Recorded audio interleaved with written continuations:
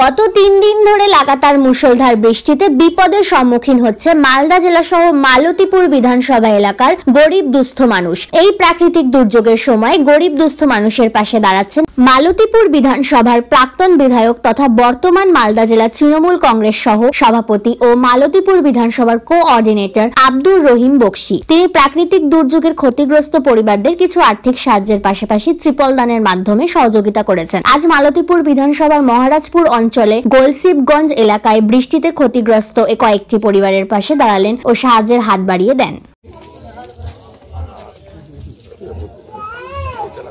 এটা কোনো বড় ব্যাপার না আমরা আরও তোমাকে সাহায্য করব। আপাতত দেখতে এসছি তোমার কি অবস্থা এটা বর্ষা বর্ষাতে দেখতেছি কি আর বাইটের ব্যাপারে। ছিল বড় সাহেব। আমাদের বাড়িতে আমার কিছু হেল্প করার জন্য। একটা তিরপল দিয়েছে পাঁচশোটা টাকা আমাকে সাহায্য করেছে। আমি খুব বিপদে পড়ে আছি। আর কিছু বলেছি আমাদের কিছু নেই বলেছি এটা আপনি রাখেন এরপরে আমরা কিছু ব্যবস্থা করব আপনার জন্য। প্রাকৃতিক দুর্যোগ চলছে চারিদিকে। বেশ কয়েকদিন ধরে টানা বৃষ্টি। বৃষ্টির জেরে যারা দুস্থ মানুষরা আছেন গরিব মানুষরা আছেন তারা বাইরে বাইরে যেতে পারছেন না দিন আনতে দিন যারা খান। দিন মজুরি কাজ যারা করেন তারা বাড়ির বাইরে বেরাতেও পারছেন না এই বৃষ্টিতে। ফলে একদিন না খাটলে তাদের সংসার চলবে না।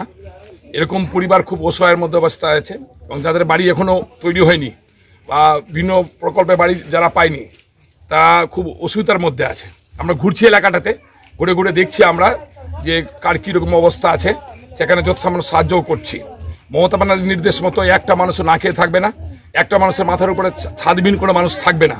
এই নির্দেশকে মান্যতা দিয়ে আমরা তৃণমূল কংগ্রেস কর্মীরা এলাকা এলাকায় ঘুরে আমরা বিভিন্ন মানুষের সাথে আলোচনা করে তাদের সুব্যবস্থা করার চেষ্টা করছি আমরা যাতে তাদের সুযোগ সুবিধা তারা পাই যারা এখনও আবাস যোজনার মধ্যে বাড়ি পায়নি, তারা যাতে দ্রুতগতি পায়, আমরা বিডিও সাহেবের সাথে কথা বলব।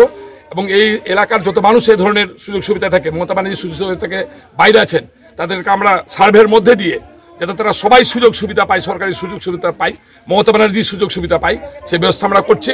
আজকে আমরা এসেছিলাম, কয়েকটা বাড়িতে আমরা গেছি যত সামান্য একটা ত্রিপাল কিছু টাকা পয়সা দিয়ে আপাততভাবে তাদের পাশে দাঁড়ানোর চেষ্টা করেছি।